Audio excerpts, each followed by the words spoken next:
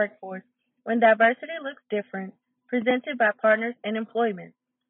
Northeast Delta Human Services Authority is led by Dr. Montez A. Sizer, Executive Director. Collectively, we are all directed by our vision, mission, and tenets. Our vision to build a unified Northeast Louisiana where individuals are thriving and reaching their full human potential. Our mission to serve as a catalyst for individuals with mental health, developmental disabilities, and addictive disorders. And our tenets that guide our actions greater access to services, excellent customer service, quality, competent care. Again, welcome to Building an Exclusive Workforce when diversity looks different, presented by Partners in Employment. Now you will hear from Joanne Haynes Powell, a member of the Northeast Delta HSA's Developmental Disabilities team. I want to begin this afternoon by sharing with you the why behind PIE. In late 2016 and early 2017, our agency, Northeast Delta HSA, was wrapping up listening sessions around Northeast Louisiana with the people who receive services through the developmental disabilities section of our office. In these, sec- in these sessions, we heard a lot of discussion and questions about employment opportunities or rather a lack of those opportunities for many of the people we support with developmental disabilities.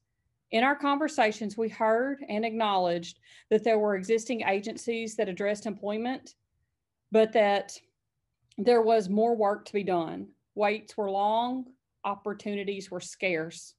The people we spoke to in our communities were asking for more when the supports needed for employment were above and beyond what many of the established programs were focused on or equipped for. These conversations are how Partners in Employment, or PIE, came to be. We at Northeast Delta HSA know that wellness is a multifaceted, that wellness is multifaceted, and that a holistic approach that includes occupational wellness is not only consistent with our commitment to deliver programs and services that encourage people to reach their true human potential, but it's essential to improving the quality of life of the people that we serve. Today, PIE is a partnership that brings together the developmental disabilities knowledge and funding of Northeast Delta HSA with the employment expertise of Goodwill Industries of North Louisiana to address the employment needs of our community. PIE is an employment based program aimed at addressing the lack of opportunities for people with developmental disabilities to secure competitive community based employment. PIE supports individuals with developmental disabilities with job training, placement, and on the job support for job coaching. PIE utilizes a person-centered approach to meet individual needs, wants, desires, and goals to ensure positive programmatic outcomes and increase participation levels. All of that sounds super fancy, but it's actually very simple. People with developmental disabilities tell us they want to work, and then we get to work. Through the partnership with Goodwill, PIE helps these people get real jobs in the community and make sure that they have the support they need to stay in those jobs. PIE was created so that everyone who is willing to work can. In addition to job training, placement, and support, PIE is working to raise awareness and build community capacity through events like this one. Today, you're going to hear from two leaders in the area of disability employment. We'll talk about building an inclusive workforce, barriers and benefits of diversity, and how we can all work together to create opportunities for everyone. You will also hear from just a few of the job seekers currently enrolled in the PIE program and looking for jobs.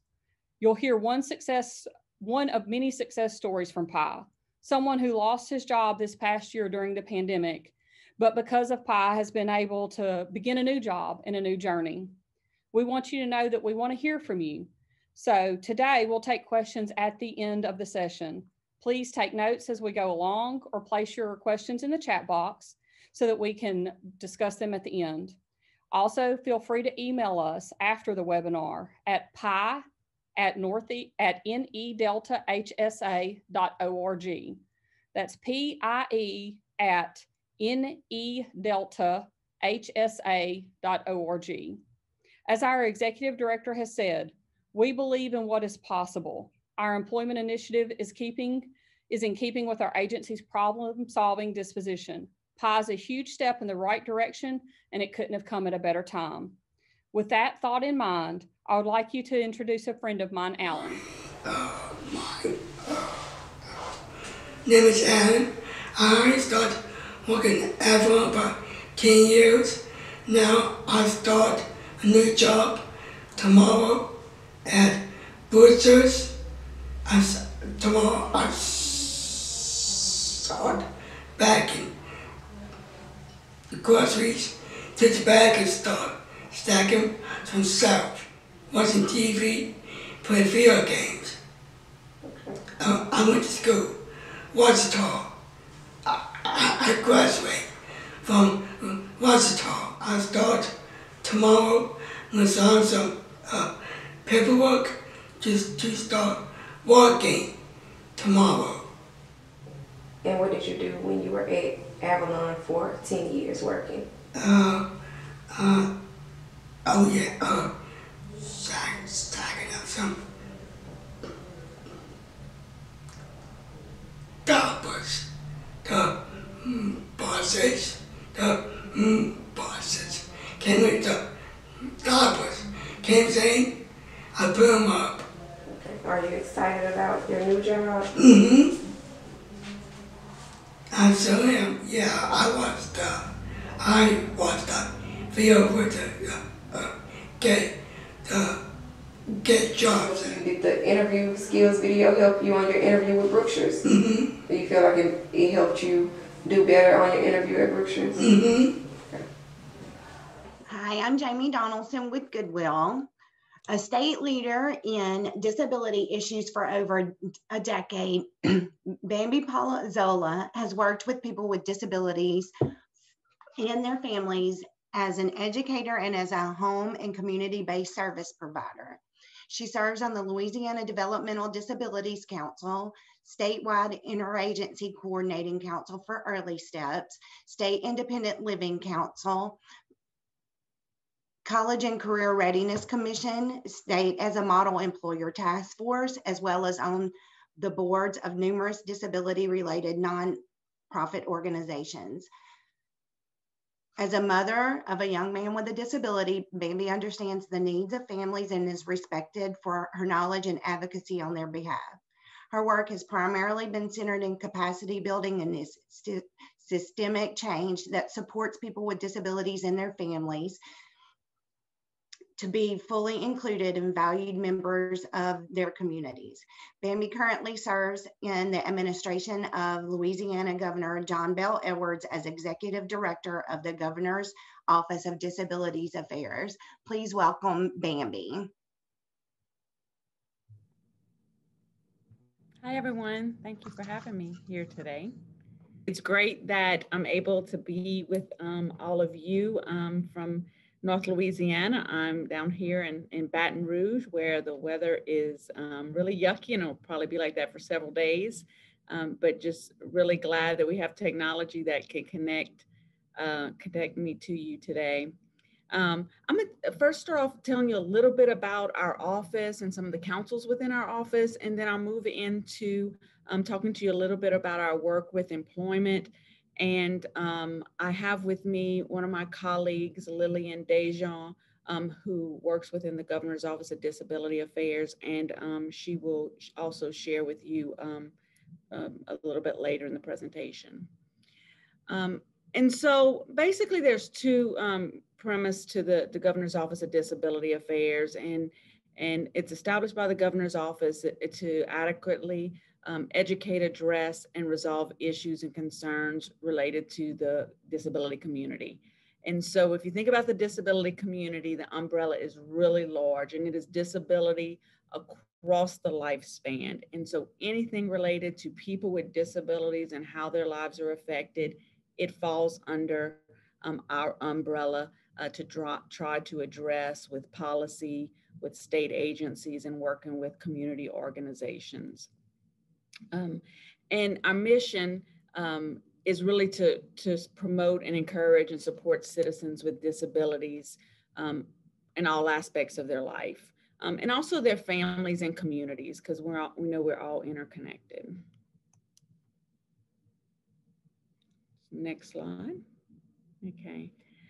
Um, just a few of our programs and initiatives that um, you may have heard of. Um, the Governor's Office of Disability Affairs Co- Conference. It's held every year in July, the anniversary of um, the signing of the ADA.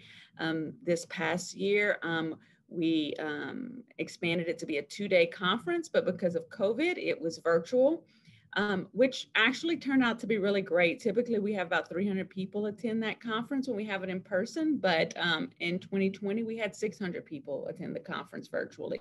Um, so it's really a great conference, covers a, a, lot of different topics. So I encourage you all to, to try to attend uh, this year. We plan on having it um, kind of a hybrid. We're not sure how it's going to work in person and, um, and virtual options. We also have the Gold Awards, um, which is a great um, program that we have every year um, that re just recognizes about 14 to 16 people across the state in different categories who really have done um, really great work in uh, disabilities. At the same time, we have an inclusive art contest, which is open to people across the uh, lifespan and really with a theme about inclusion. Um, and so that's really great to see all of the, um, the artistic abilities that our citizens have. We also have, um, I'll go to the bottom, our monthly newsletter. If you haven't signed up for our um, monthly newsletter, you can go to our website and sign up for that. Um, and we try and include as much information from around the state related to, um, though it's important to the disability community. Um, we, of course, have constituent services within our office, so we try to meet people's needs, um, try to give community briefings on what's going on, especially in times like now, which we just started the legislative session yesterday. So there's a lot of information that people need to know about what's going on in the legislative process. So we try to keep people aware. Um, and we also have disability uh, awareness events throughout the year. You can go to the next slide. And this is our website. Um, and like I said, you can you can click on there. There's a lot of different resources and information, and you can sign up for our newsletter at our website.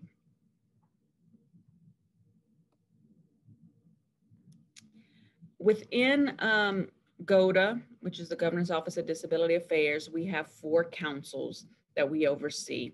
Um, first is the Governor's Advisory Council on Disability Affairs um, the State Interagency Coordinating Council for Early Steps, the Statewide Independent Living Council, and State as a Model Employer Task Force. In the next slides, I'll explain each of those councils. Go to the next slide. Okay, so the duties of the um, the Governor's Advisory Council on Disability Affair, or GACDA is what it's commonly called, is really just to advise the governor and other stakeholders on issues related to people with disabilities. Um, and then just assist our office with kind of resolutions of state disability issues. Um, and so um, the next slide. Um, within GACDA, we have several uh, committees, education, housing, transportation, accessibility, and legislative.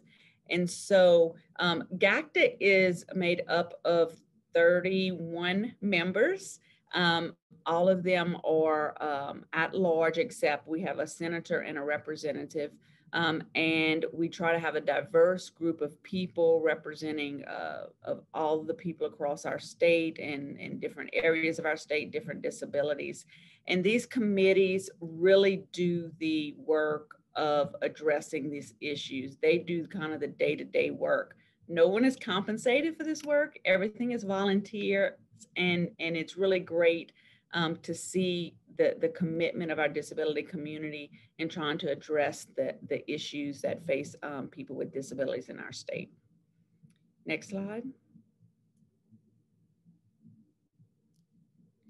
Um, other council is um, the council that uh, advises on early steps. Um, Early Steps is the program that uh, provides uh, intensive services for our babies, uh, zero to three, that have developmental delays.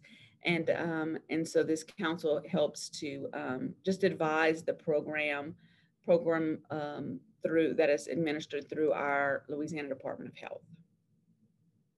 Next slide.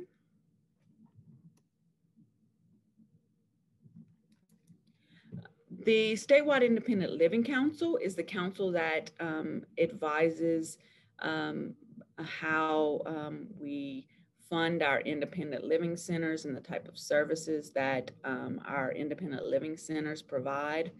Um, you can see at the bottom of this slide, we have independent living centers in uh, eight locations across the state. Um, and and those independent living centers um, just they provide resources so that people with disabilities can live um, independently uh, more independently. Um, if you have not um, reached out to the independent living center in your area i encourage you to do so. They have a wide variety of different programs and services that they provide um, and it's just a, a great resource that we have in our state. Next slide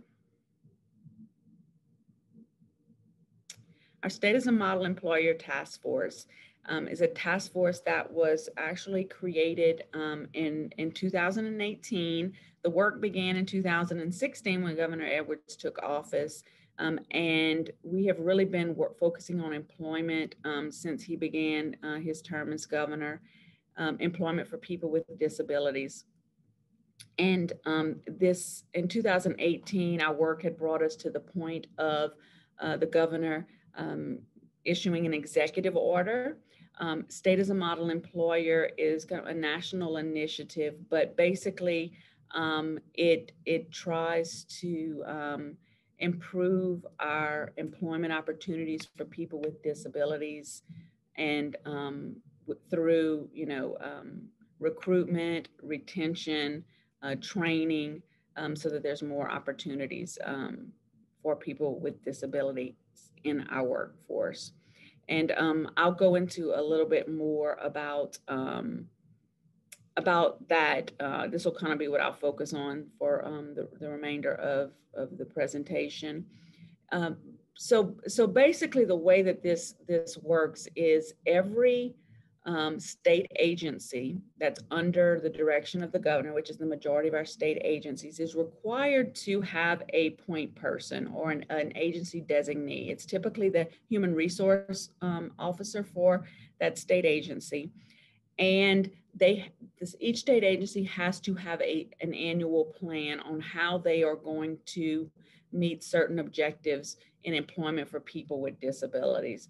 Um, some of those components um, include how are they going to train their managers um, in, in understanding disabilities for accommodations and recruitment and hiring, um, and, as well as um, another component of it is a survey that we um, send out annually to all state employees asking for self-identification of uh, it's anonymous, but to identify their disability, the type of disability, so that we can keep some type of data to see if we're improving the percentages of people we're hiring in the state that have disabilities. Because as you know, of course, people do not have to um, to tell the employer that they have a disability. So that this is a this is a method in which people can anonymously share this information, um, and we could um, compile that data and be able to um, kind of get an idea of what's going on in our state agencies.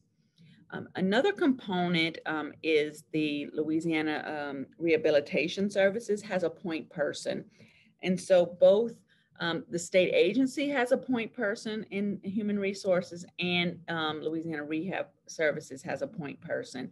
And so they're able to work together. So if there is a vocational rehabilitation client who's interested in a job at a particular state agency, they're able to communicate about um, that client and see if it's a good fit for that um, vocational rehabilitation client to perhaps be interviewed for the particular job that they're interested in. So it just helps to a little more of a person-centered approach in um, providing opportunities for state employment um, for people with disabilities. Um, I'm going to go ahead and pause because I feel like my I've been y'all been hearing my voice um, over and over um, for for too long now but I'm going to ask um, my colleague Lillian Dejean.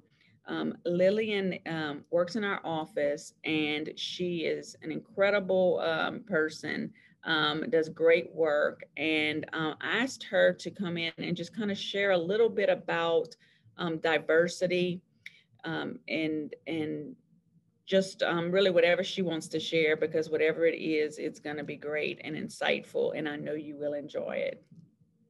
So, Lillian. Hi, everyone. It's hard to follow up with such an intro, huh? um, thank you for the, the kind intro. So, hi, my name is Lillian Dejean. Like Ms. Bambi mentioned, I, I work in the Governor's Office of Disability Affairs. And I kind of want to talk about diversity and inclusion specifically in the workplace today. And we talk a lot about inclusion and the importance of inclusion, but we never really talk about how we get there and what that process looks like because it's not necessarily a set end goal, right? It's not necessarily, oh, we put a, a wheelchair ramp to the building and suddenly we're fully inclusive. It's an ever evolving process. We're learning all the time. I'm learning all the time about disability as a person with a disability. And so, what I found from my personal experience as a person with a disability, working in the disability fields for over five years now, is that normalizing disability is absolutely the key. Frequently, I've found that other people are more uncomfortable with my disability than I am. But I think that's because the general assumption is that disability equals suffering, right? That your quality of life as an individual with a disability may be less than than your able-bodied peers. Um, for example, I went on a college campus tour about two years ago, and I was using my wheelchair that day. And we were on a slope, and my muscles are particularly weak. And because of this, I um, drove my wheelchair straight into a bush. And it was, you know, very embarrassing. And I was on a tour with predominantly uh, non disabled peers, and everyone was completely horrified. Everyone was frozen because they were so horrified, and this lasted for a good 10 seconds before anyone even breathed or moved. But in actuality, it was really just the equivalent of someone tripping on a curb, right? It, it wasn't really that big of a deal. I just ran into a bush, kind of a funny, embarrassing moment. But we really could have just, someone could have said, hey, you need some help? I say no, and we just move on. And we see this this bias and these assumptions that disability equals suffering, even in academic studies. So recently, there was a Harvard study that came out that polled physicians from across the US.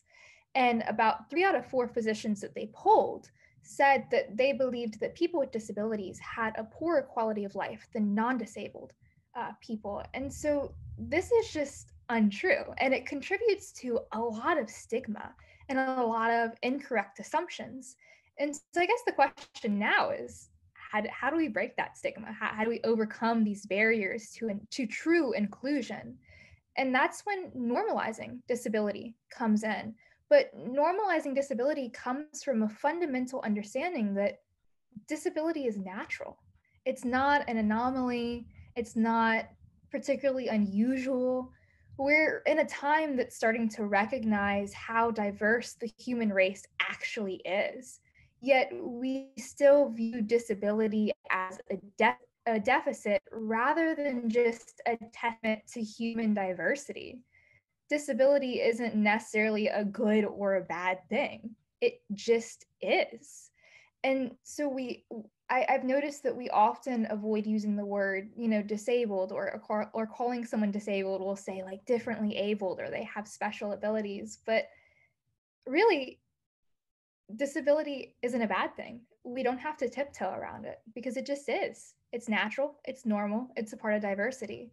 And tiptoeing around diverse di- diversity doesn't lead to the conversations about diversity that illuminates what actually is.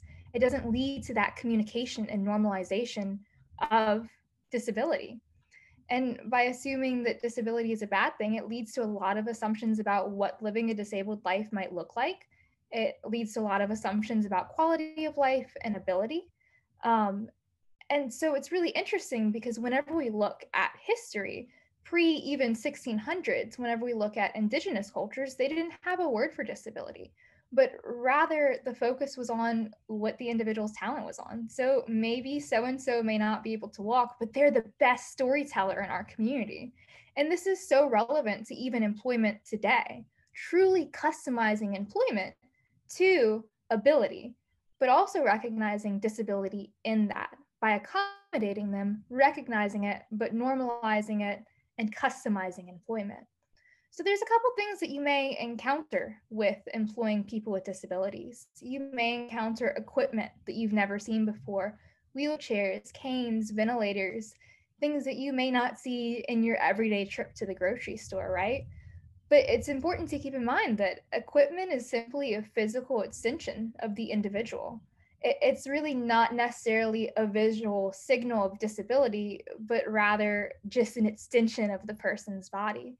So I use a ventilator every now and then. It goes on a cannula underneath my nose. It's a it's a pretty hefty machine. Um, and a lot of people will try to carry it for me. It's like I appreciate the concern I appreciate the accommodation. However, it's my lungs. And it's the same for people in wheelchairs. A lot of people with wheelchairs don't want other people pushing their wheelchairs without their permission because it's the equivalent of walking up to an able-bodied person picking them up and carrying them somewhere without letting them know anything and as you can imagine that can be very alarming you may encounter individuals with invisible disabilities where you can't see their disabilities but it's still there um, and employment doesn't necessarily have to be eight to five, five days a week. It can be more flexible than that. And we also know through the COVID 19 pandemic that work can be way more fluid than we originally thought. Virtual works too. And you don't necessarily have to have set work hours to be productive, it can be customized to the situation. And so employing people with disabilities may lead to a lot of innovation and creativity and a lot of new ideas, both from the employer, but also the employee. Because living with a disability in an inaccessible world, that's a bit of a challenge. And you have to figure a lot of things out a lot of the time. And generally, it's on the fly. So you have to figure things out really quickly, too. And so by collaborating between the employee and the employer, you lead to some really amazing products, some really amazing accommodations, and some really incredible ideas. So, by employing a person with a disability, you may be bringing whole new concepts to the table that you've never considered before. And that's really pretty amazing. But that communication and that trust has to be there. That normalization of disability, where you know you recognize disability as a part of an individual, but not as the whole individual the communication, trust, and normalization is definitely key.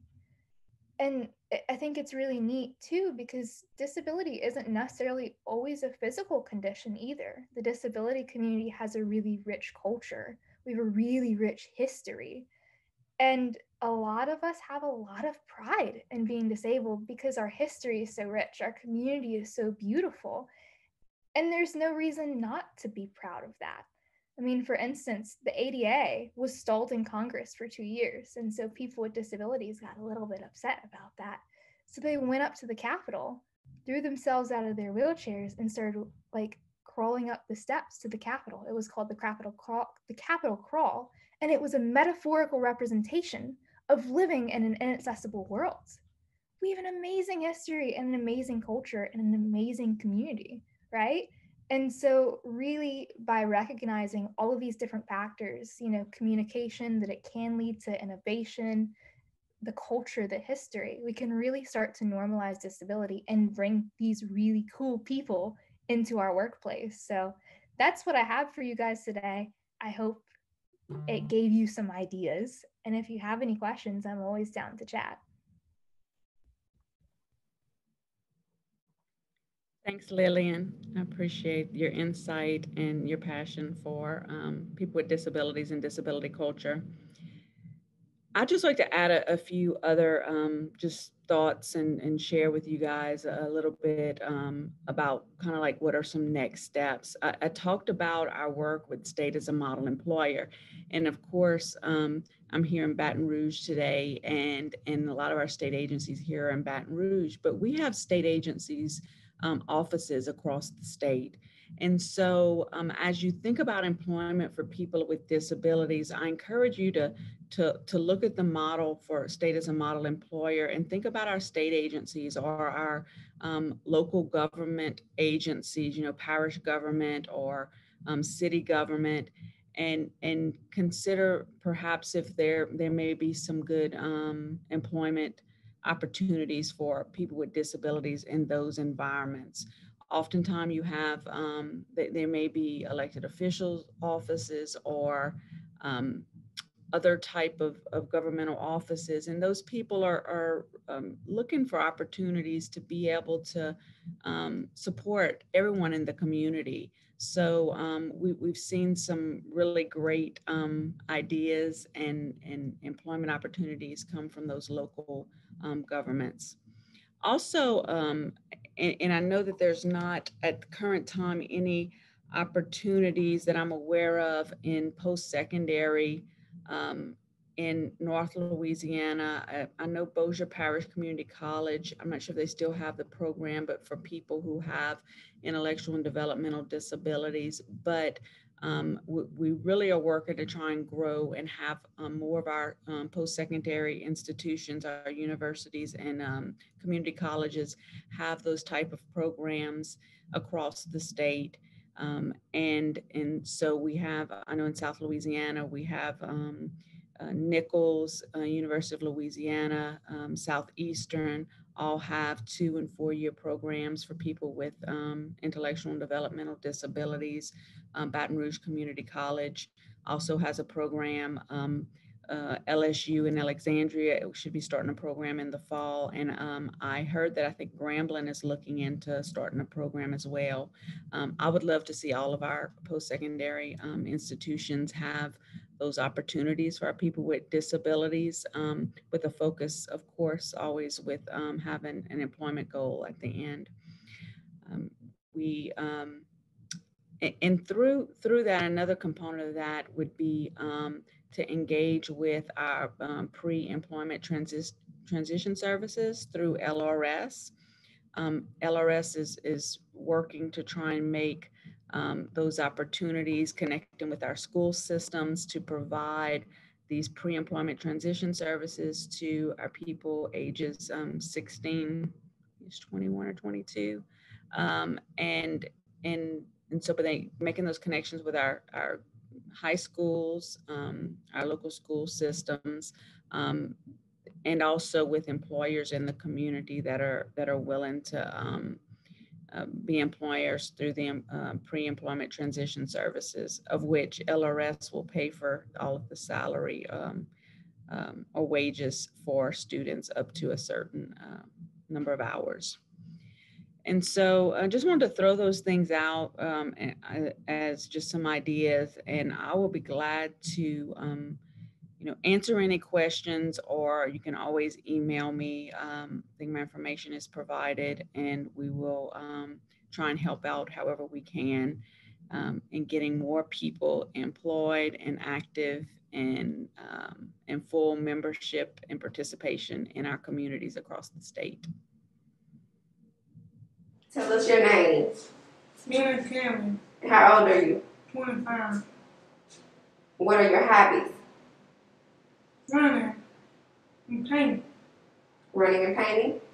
And what what is your dream job? Become a lawyer. To become a lawyer. And what else do you want to tell us about yourself? I'm nice. You're nice. And what school did you go to, Alina? Washington High School. Washington High School? Yeah. And what year did you graduate? 2001. 2001? And what did you do at school? What did you participate in at school? I was a cheerleader for my friends. You were cheerleading? Yeah. And have they, you? They picked me up. They picked you up? Yeah. And have you ever um, done any work before? No. Have you ever volunteered to do any work? No. Okay. So you're you're um, hoping that Goodwill can help you find a job, right? Yes, ma'am. And before you become a lawyer, what else would you like to do? What other kind of jobs would you like to do? I want to get puppies. You want to work with puppies? Yes. So maybe PetSmart. Yes. Okay.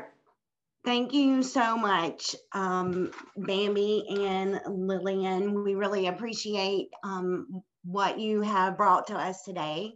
Now I will be introducing Ms. Stephanie Benedetti. Stephanie is the Senior Vice President of External Affairs at Lighthouse Louisiana and a passionate advocate for the employment of people with disabilities. Stephanie has spent the last 15 years of her career creating opportunities for employers to connect with people with disabilities. In her tenure at the Lighthouse, Stephanie has managed teams of talented certified employment specialists spearheaded internal programming creating upward mobility paths for people with disabilities and expanded programming including federal, federally supported employment rehabilitation and disability benefit support. When not advocating for inclusive workplaces, Stephanie can be found hiking, biking, cooking, or reading with her four-year-old daughter, Ella, and her husband, Rob. Welcome, Bambi, or Miss Stephanie. Sorry about that. That's okay, Jamie. Hi, everyone. Um, again, I'm Stephanie. That was a great bio. I think um, that kind of covers that. But just to tell you all a little bit about Lighthouse Louisiana, we're a 105 year old organization, and we are located in three locations primarily. So, New Orleans, Baton Rouge and then also Gulf, Gulfport, Mississippi, but we cover really wide swaths of the state and have provided supportive services of all types for people all across. So we have three main parts of our mission services, employment, and advocacy.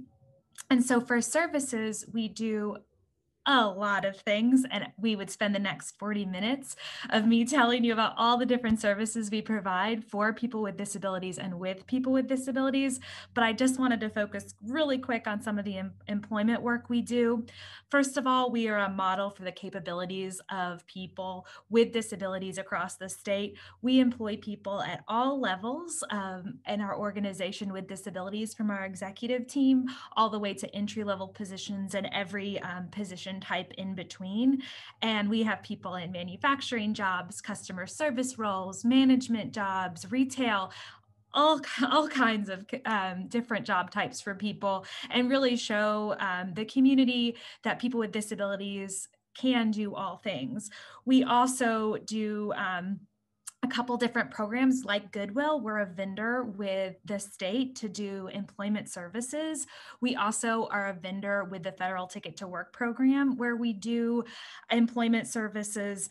And then we also um, do some benefits counseling and other supportive things around people with disabilities. And then we also do the advocacy piece, which is really important, and go out and talk all the time to employers and the community about the importance of hiring people with disabilities, how to hire people with disabilities, and um, building those inclusive communities and in their workplace as well as in their community itself. So today we're going to focus on the benefit piece of hiring people with disabilities. But before we go too deep into that, I'm going to go to the next slide and just um, talk a little bit about who are people with disabilities. So next slide, thank you. So I think Lillian uh, in her remarks really kind of hit it over the head that disability is not an anomaly. One in five 64 million people have a disability uh, of US adults. That's a lot of people.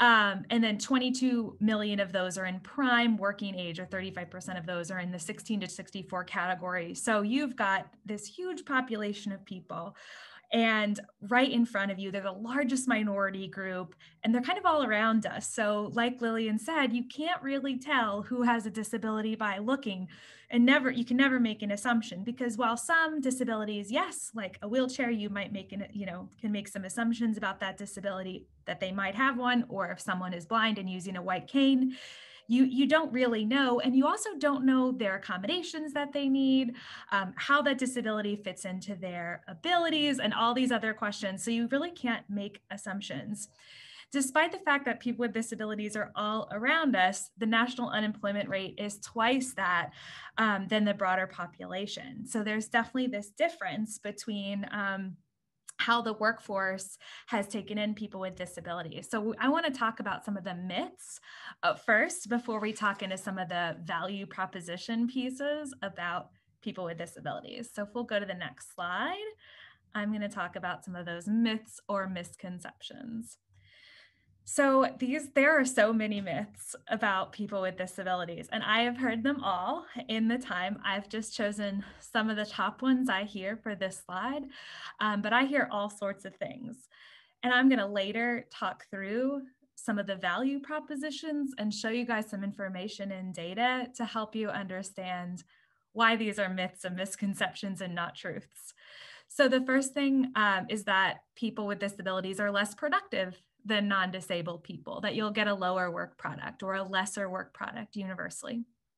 Another myth is that um, there's higher turnover. People with disabilities are more likely to leave and you won't have that consistent workforce. Another myth is that they're sick more often, right? They have a disability, so they're going to have lots of unscheduled leave and scheduled leave and need to be out sick all the time um, and won't be able to be there when you need them. Another misconception is that it's hurtful to a company's image or how they want to brand or market themselves. That having someone with a disability um, just doesn't doesn't look good in how they want to to go out there in the world. And another is they're not as qualified. They don't have their credentialing or the experience or etc. as people with disabilities. There are so many other ones. I hear cost to accommodate all the time. Like, I can't possibly, I'm a small business owner. I can't possibly afford to hire someone with a disability. Um, oh, it's, it's unsafe. I can't bring someone in with a disability into our workspace because it'll be unsafe for their coworkers and for, um, you know, their, their physical being. And they'll come into my manufacturing facility and they'll be unable to work here and we'll have really high workers' compensation claims. Hear all these things all the time. Well, don't worry, I'm going to tell you the facts and how research and studies show that all of these myths are in fact myths. And in many cases, the actual there's benefits of hiring people with disabilities to actually do things like increase your safety, increase your productivity, and benefit your company's image. So that is really the message I like to tell that all these myths totally fake. Who knows where they came from, but they still exist. We hear time and time again from employers anecdotally in the community, but also studies show that hiring managers still have these misconceptions in their minds when they're making those hiring decisions and when they're thinking about the inclusivity of, of bringing people on, how that will impact their job, their workspace, um, and their things like their productivity.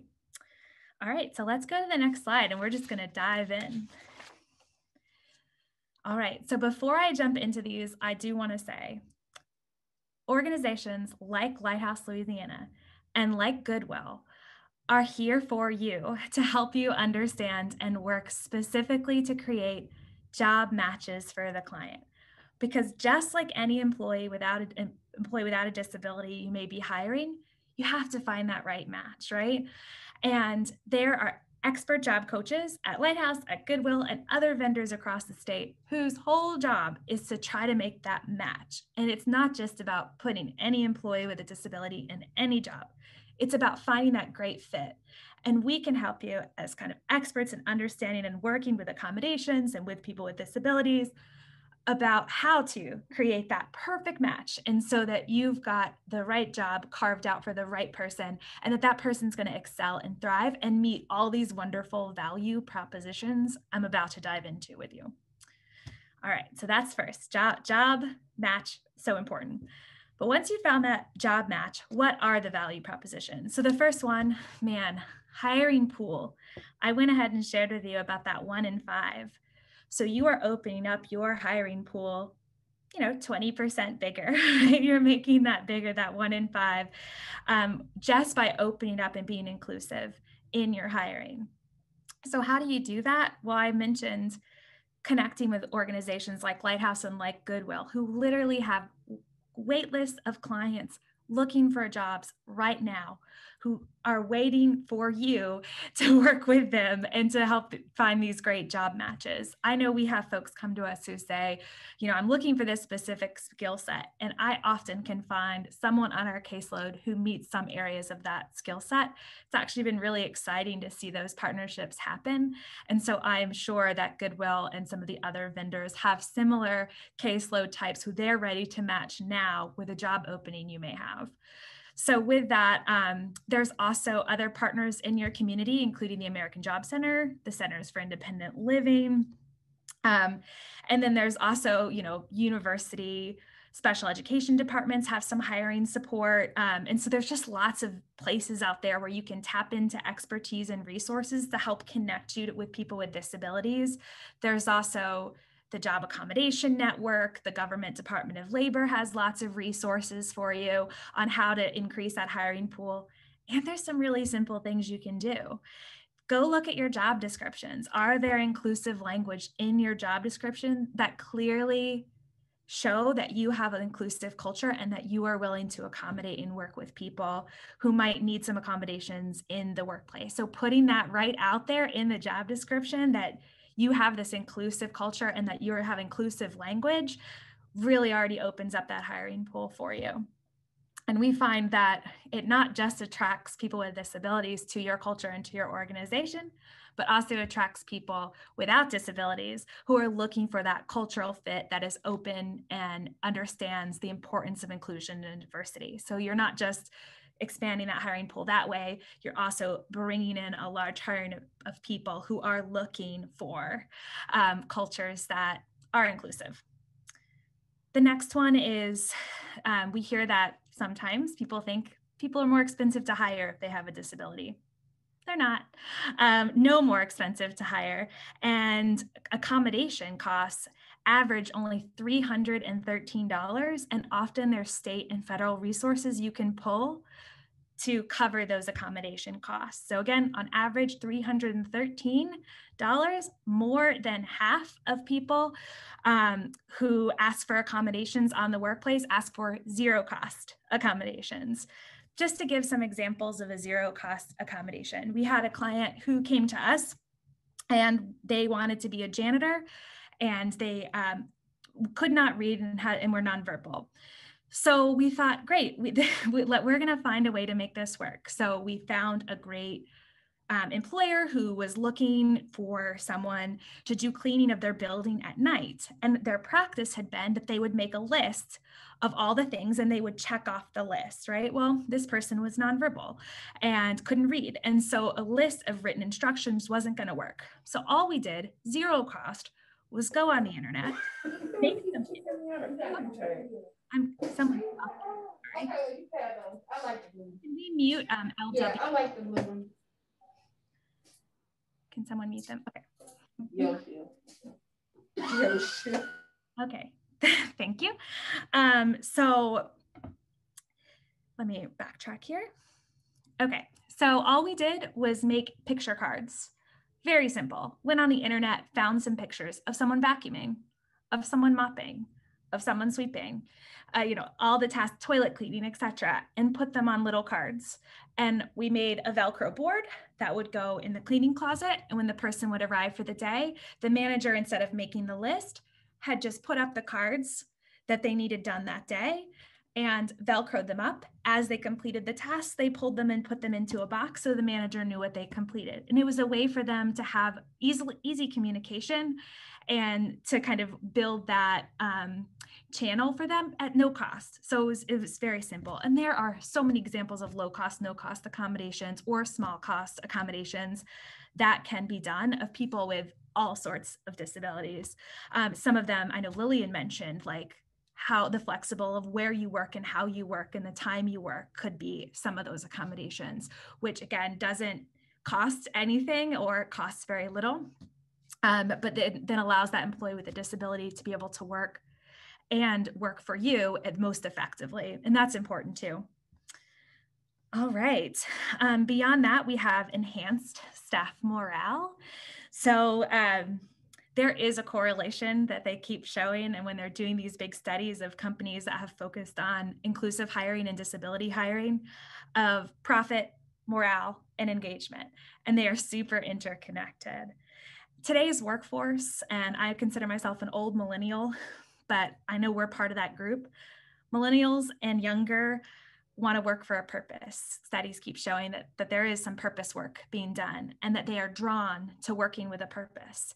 So to recruit from this talent pool that's becoming your middle-aged uh, and you know management and director level workers, having that for a purpose as part of who you are and what you do is super attractive.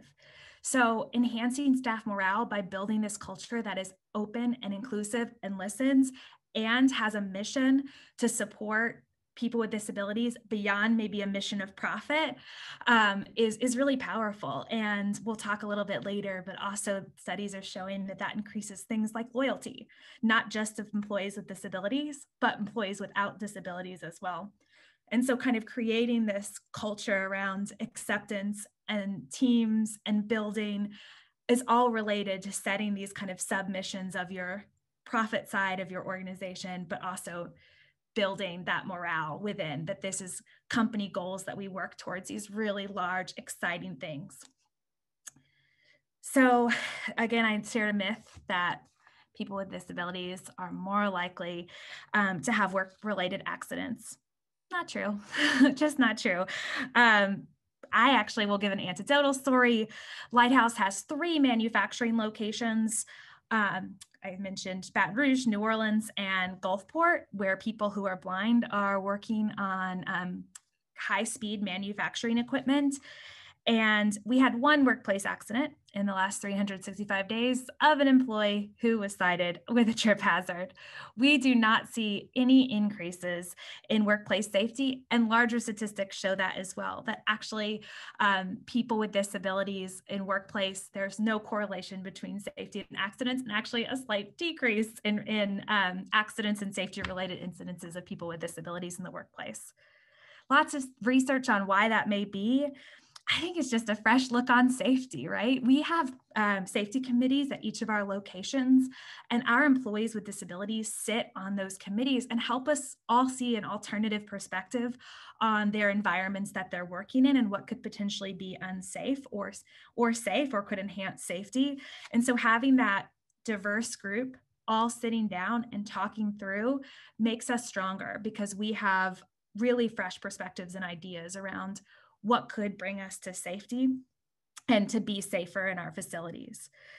So that is definitely something that just there's a real value there to your company to have that lower or same work related accidents and to not have that fear that if you hire someone with a disability, that'll increase. It's not true. Um, there's also, I mentioned the attendance thing. Um, studies show same or better. So, same or better attendance.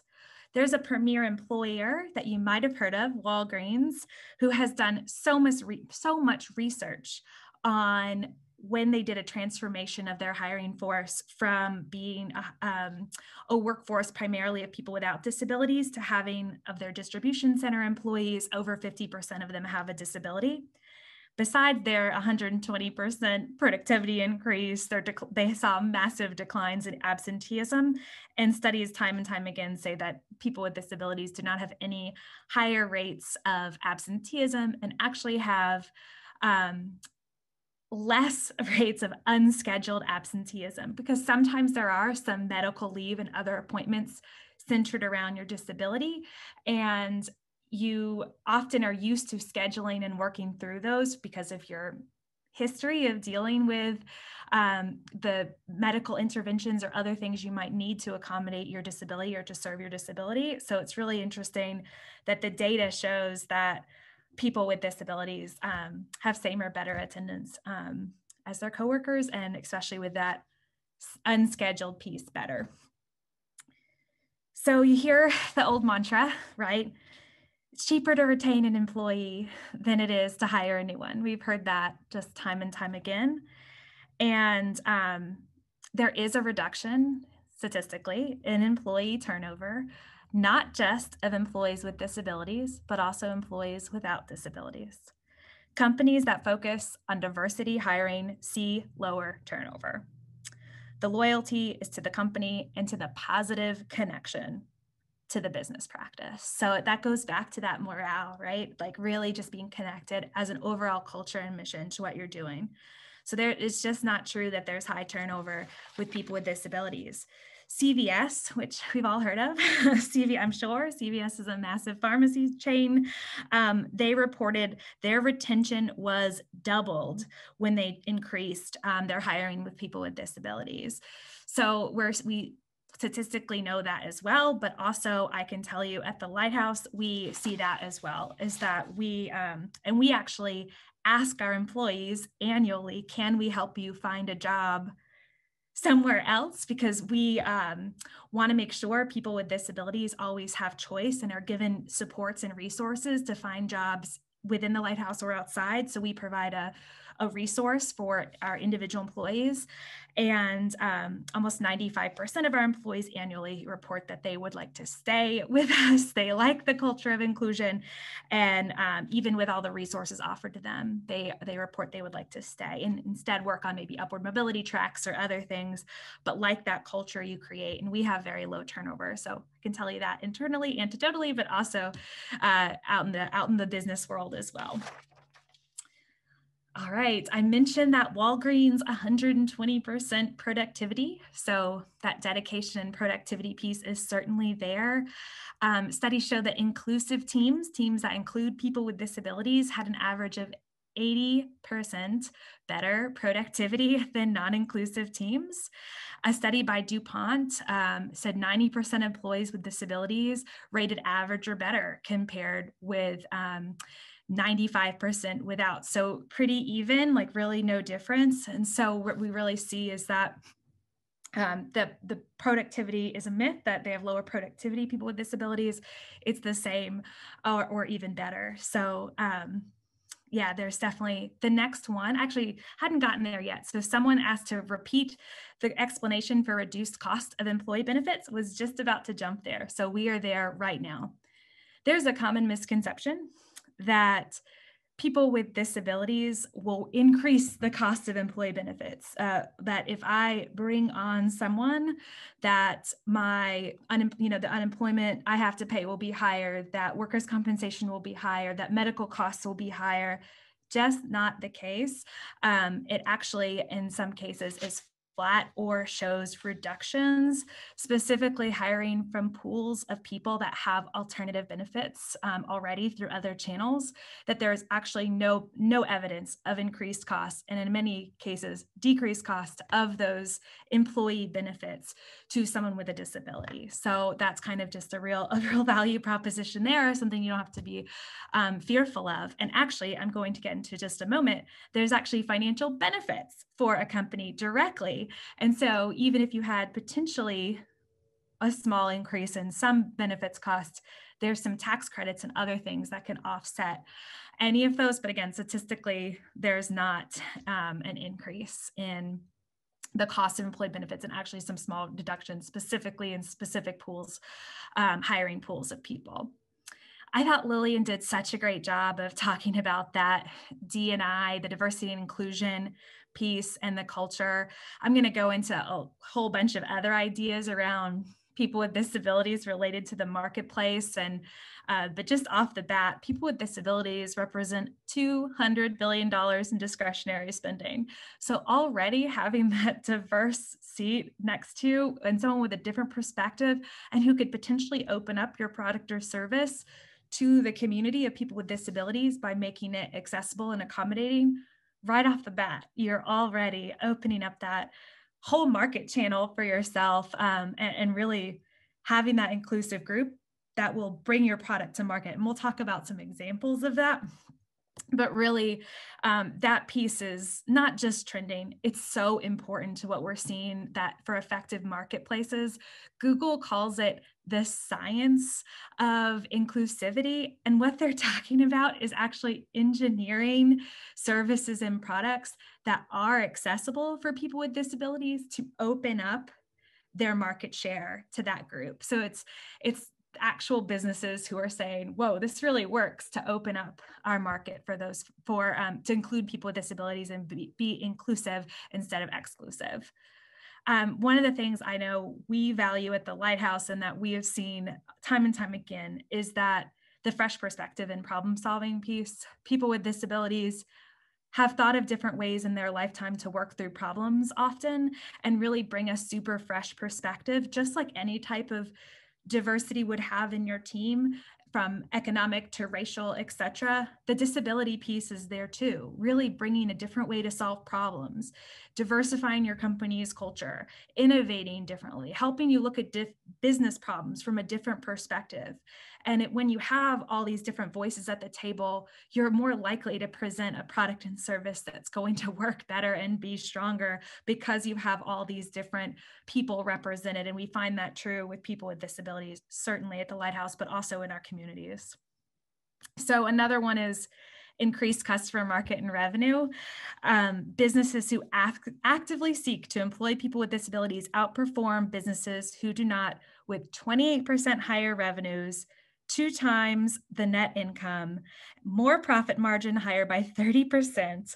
And the DOL says people with disabilities um, also have that increased retention as well by up to 90%. So it's a recent DOL study on retention around hiring people with disabilities. So man, like right there, you've just got all this data to say like, no matter your business size, and this was done on small, medium, and large businesses, there are real financial values from having people at the table with these diverse um, diverse backgrounds experiences and problem solving skills that can help your product or service so um, one of the things that it's really interesting that you can think about is how can you incorporate people with disabilities and their unique perspectives into your marketing strategy, right? So at the table, creating that marketing plan and opening up and ensuring that your product and service will work for those people. I know at Lighthouse, because we have so many people who are blind working on our team and people who are deaf and hard of hearing, we look specifically for products and services that can meet our needs and demands of all of our employees. So I remember looking, we were looking for performance management software, right? And there are, man, hundreds of them, it seems, on the market. But we really were looking for one that was the most accessible. And that one won, like hands down. There was all these other ones that had you know different things and different products and that were equal or not equal when we all came down to it it was the one that was the most accommodating and open to people people with disabilities that everyone can access and we love our performance management system at the lighthouse so we made the right call but definitely i'm glad that whoever was creating that uh, was at the table considered inclusivity when creating their product and when we go out in the market and look for those specific products, I know Lighthouse is what we're looking for. And I believe as we're seeing shifts in the market and companies continuing to embrace and want to have diverse groups that they're going to be asking those same questions of their performance management software of their services of their speakers of the platforms they use um, to have virtual events and in-person events. And i think we're just going to see more and more of that. And it's really interesting if you've got someone with a disability who's in not just your marketing, but also in your product or service development team who can think about those questions for you and help you create that market. It's really fascinating. Um, and same with testing market tactics. Like you're again, that's we're talking about a big piece, one in five of the population. And um, especially having people with different disabilities and different experiences all around you at the table who can give you some marketing tactics for um, the disability community or for their group who can help that make sure your communication channels for advertising and for messaging is is inclusive. Um, i'm not going to call anyone out but i recently went to a diversity and inclusive in, inclusion event um, that had not asked if anyone needed an accommodation before the event and someone who was deaf came and they didn't have um, they, it was a D&I event that was focused on racial justice and did not have a disability piece.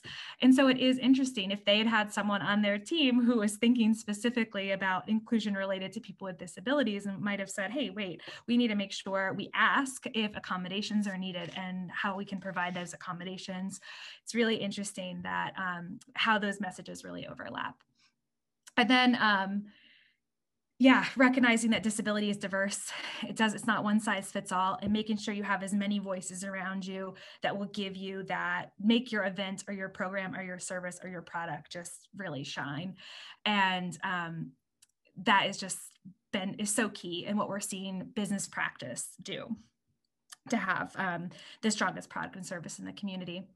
And then also, we have found that devising, having people with disabilities around you to help you devise simple modifications to make existing products and services more accessible for um, them and their community group. We we have a, a group who's constantly making um, suggestions to some of the common software platforms we use, like our accounting software platform, et cetera. We're giving them information um, to make their product better. And if they had their those folks on their team helping them, it would be better from the start, right? And serve more people. And and definitely having that uh, group there to help those technical people who are coding websites or doing what they're doing to have that advice to make it more accessible is just from the start would be even more appealing there are some tax and financial incentives. Every we have a lighthouse, we give every employer, small to large, a kind of listing of here are your benefits that you can get financially. Because I understand you're a business, especially small businesses. Um, there are tax credits for hiring people with disabilities ranging from $1,200 to $9,600. There's some rules around it, but that's in general the range. There's also some disabled access uh, grants you can get and disabled access tax credits you can get up to $15,000.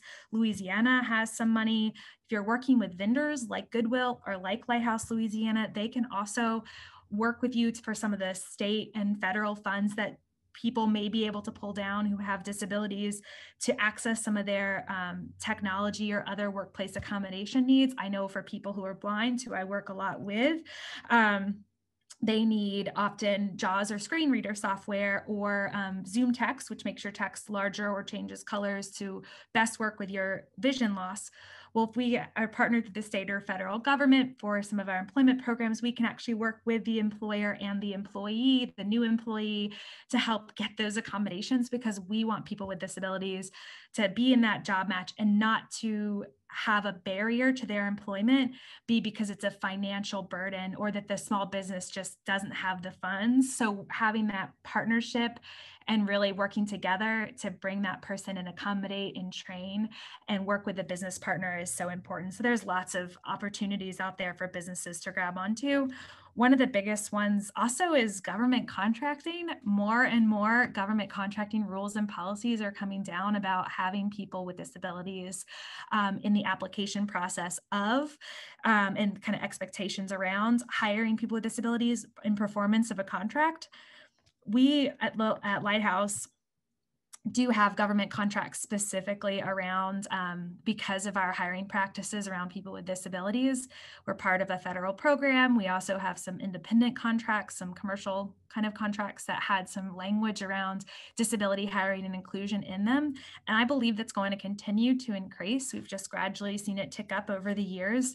And so, really, that as a business owner, you might really want to consider what future opportunities, both in the state and federal government government level, may be available to you as well um, as you've opened up and, and, made your workplace one that is very inclusive and, and hiring specifically people with disabilities to also attract these additional revenue funds. So I put these at the end because there's so many wonderful values around hiring people with disabilities. But yes, there are these also kind of incentives that have been created by the federal government or the state um, as well to support a business owner in making this really cool choice about including people with disabilities in their practice and in their culture. All right, so that was a lot. So we can go to the next slide.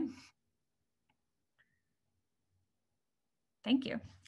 All right, so I did put my contact. You're free to connect with me, and your experts really here are Goodwill as well for the Northeast region, um, as well as with um, Bambi's office, as well as with Louisiana Rehab Services, as well as with your local job centers. But um, just in closing, so let's say you're all really jazzed. You're like, I want to create this inclusive work culture like right now um, at your at your workplace, which I really hope that's what everyone's feeling right now. Um, so a first step would be to turn to a community organization. Um, like Lighthouse or like Goodwill in your community, find that community partner and have them help you. I know we talk to employers all the time about about these things in detail. We'll work hand in hand with an employer um, to, you know, for training of their employees, for training of their hiring managers, for engaging with their staff, um, to really work on that mission for that employer. Um, and kind of engage in disability education programs for everyone, um, as well as help you work on, if you would like, kind of conversations around organizational goals, organizational practice around um, disability inclusion. So definitely kind of excuse me, and definitely kind of thinking through and looking at those things as well. And then, yeah, that's it for me. I'm, well, I guess we're holding for questions. I was about to ask any questions, but I won't. Um, and so we'll ask this later, but thanks for all your time and for listening. And um, yeah, I hope, hope everyone here is, is off to go hire more people with disabilities and to really create inclusive workforces, excuse me. Hi, my name is Deasia Wilhite, and I am 20 years old. I graduated from West Monroe High School. I love the Rebels. Um, I worked at West Monroe High School as an assistant for the principal and for the librarian, and I love working for them. I love to sing, dance, and be around people. Um, I love to go to church and just have fun. Um, my dream job is to always work, you know, for special needs and to be a counselor for them.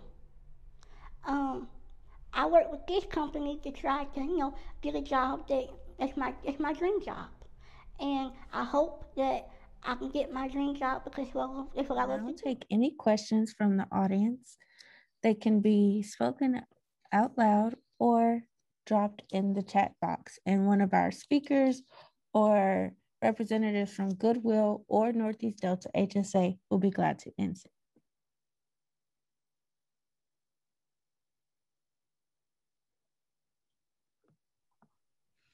Um, I have a question for Bambi. Hi, Bambi. This is Anita. Hi. Hi. Um, the presentations were excellent. This, they were they were excellent. So I have a question for you. When you mentioned various universities. Can you hear me? Am I loud enough? Okay. When you mentioned that various universities have begun programs, are already uh, offering those programs for people with disabilities, and Grambling may begin one, could you tell me a little bit more about it? Because I'm quite interested in starting something at the University of Louisiana, Monroe. Okay, can, can you hear me? Yes. Okay, good. Um, so I would suggest for a university that wanted to start such a program, um, the uh, Louisiana Developmental Disabilities um, Council is funding um, a project with which um, Dr. Geraldine Beckers at Southeastern is leading. And uh, the contract really is to work with universities who don't have this type of post-secondary um, program and help them to develop it. Because there's some federal approval um, as you know working at a university you know more about that than than i do. But um, uh, she would be the contact in helping she she's the one who's helping lsu at alexandria and um, and grambling so what I'll do is I'll just send you an individual email and get you get a little bit more information. Or I'll just call you and get. I don't want to take up the time over here. So I'll just call you because I have been interested in creating a program for a long time now. Um, as you're aware, um, I do these advocacy conferences every year, and I have created a um, disability advocacy network, you know, of organizations that are able to help and are willing to help people with disabilities. And having a program at ULM is going to uh, cover a void that we have in Northeast Louisiana, you know, and we really, really need it over here. One of the problems we identified in my conference last year was that we have the services, but we don't have the education. And, you know, Bambi, you and I have discussed a whole lot about that, you know, that we need to make all that is available um, visible to everyone. You know, it is there, the wheel is there, we don't have to reinvent it but we have to present all of that information to our community so that people can use that information. There are so many, once I began to explore, there are just so many resources out there in our community. People just don't know about it. And and I'll just um, add on to, to that in regards to the higher education uh, programs. My background is in in education, and and I've always um, supported inclusive education. And um, my son, who's 21, be 22 this summer, um, is um, going to be completing his first year at the UL Lafayette program, and it blows me away of how well that program is done, how much independence it gives to those students, um, their use of peer mentors um, in within the program is incredible, um, and just engaging in the entire college experience. Even though this year we had COVID, um, and and financially um, he pays tuition just like every other student, every other full time student there. So they're able to make it work and and really it's something we should be proud of. So i would love for north louisiana um, to to have such a program. Absolutely and, and i'm going to work on this. Uh, do they have for example the ull program do they have some kind of uh, guide or a report you know just to tell other universities you know how they're making it successful what they're doing what kind of a program it is you know just just more information about some of the successful programs. Um, let me look while other people ask questions and i'm gonna there's a link. I know there's a website and um, i'll put that in the chat. Okay thanks thanks. Okay. oh what a what a wonderful day and an afternoon we've had. Um, i really appreciate um, the time of our speakers. Lillian, you are the bonus of today. Thank you for your inspiring words. This is exactly why I get up and come to work every day. Um, it, it, drives me, this remotivates me, it gives me the energy I need. Um, for those of you who don't know me, I am Lynn Stevens. I am actually the Director of Workforce Development of Goodwill Industries of North Louisiana. And um, I just, you know, this gives me the juice I need after a kind of a stressful weekend of falling down and having some stitches put in. And it's, I'm back to my 110% when I leave here today and, and really makes me um, energized about the future of our state of Louisiana and what we can do personally, professionally, um, culturally. I mean, just it's, it's everything that I want. Um, Goodwill Industries mission is um, about improving people's lives through the power of work. We do that all across North Louisiana. So we cover all 26 parishes of North Louisiana. And we really do it through workforce development programs. So we're not just the retail store that everybody thinks about when you say Goodwill. Um, we do so much more in regards to workforce training and workforce programs um, we operate 18 different programs, and so the PIE program is one of those. We also do the supported employment program, so we are a vendor. Um, and so we do that about through a lot of different populations. Um, last year, just even through the COVID pandemic, we served over a thousand people. Think about that, a thousand people when most of the state was shut down we touched the lives of those people and we helped find over 360 jobs for those individuals. So that's almost one in three if you think about it. Um, we specialize in serving the hardest of the hard. We're the ones who get up every day and figure out how we can hold somebody's hand and lead them to a better opportunity because we truly believe everybody wants to go to work or wants a better life. Um, we do it to those that probably others would probably overlook or stigmatize, you know, whether it be a disability, an addiction, somebody who's an older worker, somebody who's maybe never had a job, or those um, basically re-entering for society um, from the prison system. We specialize in those people. Um, you heard earlier some of our speakers talk about the COVID pandemic you know, it really has changed our, our workforce population. Um, it things that existed, you know, five, ten years ago that we thought we would never get to or we would get to someday. Well, someday happened for all of us really quickly. And it's really changed the dramatics of how um, workforce exists, what opportunities exist, and how we can adapt and really work towards a more inclusive workforce, I think. Um, I know right now currently in Northeast Louisiana, there's about 3,200 open positions. So the opportunity today, if we, there was ever an opportunity where we could create change and really um, in our workforce dynamics, now is that time. You know, I came to Goodwill. A lot of people don't know my story, and it's hard to tell because of my virtual backdrop. But I came to a Goodwill nearly three years ago now. It's hard to believe. It seems like yesterday. And it really was a personal goal of mine to really focus on changing people's lives and especially those with disabilities. Um, you see, I've struggled many years. Um, I am physically disabled. I'm actually in a, a motorized wheelchair. And I've struggled over the years. I've had great jobs, but you have to also remember that things change. I have a progressive muscle disease, and so um, that will continue to get worse. And being diagnosed, I was told I would really never see the age of 40. And so I knew at that point I had to be different. I had to work three times, four times as hard.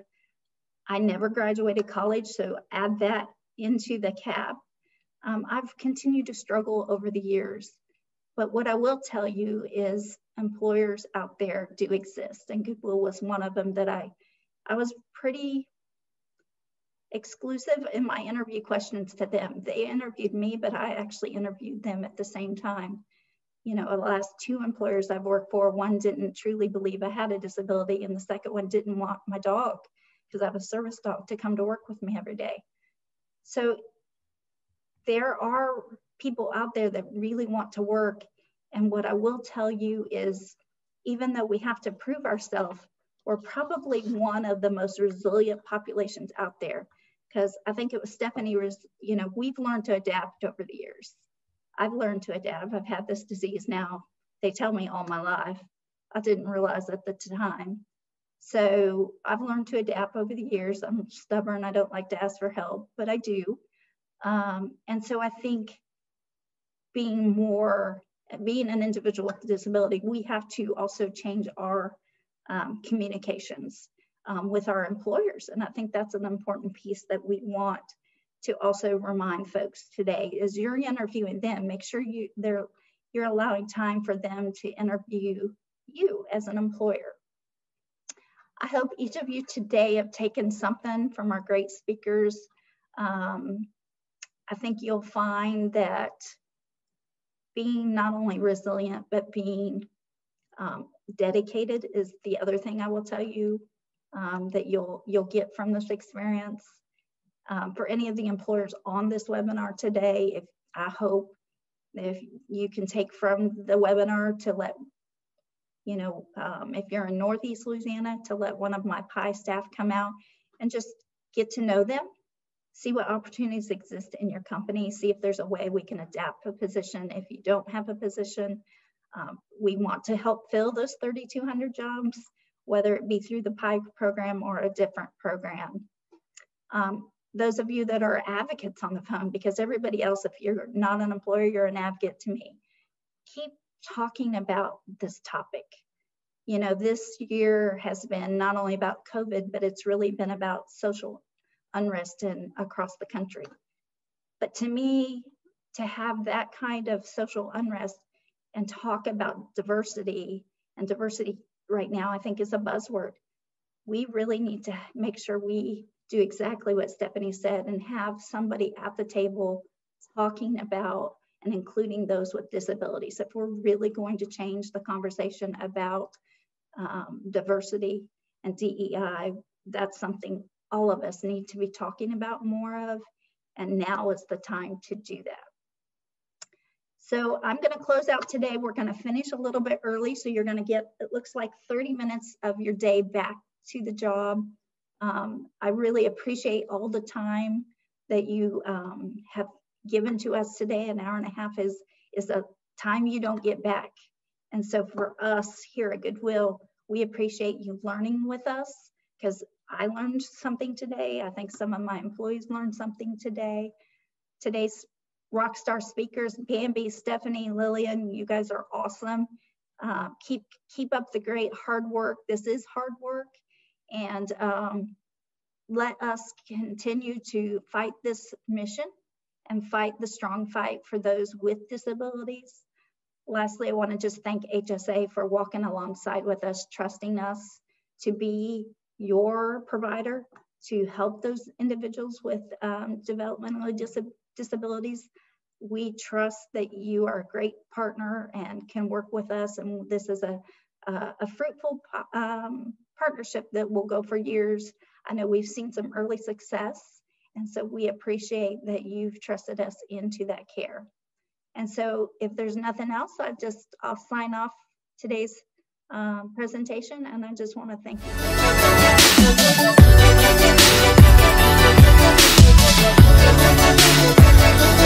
you.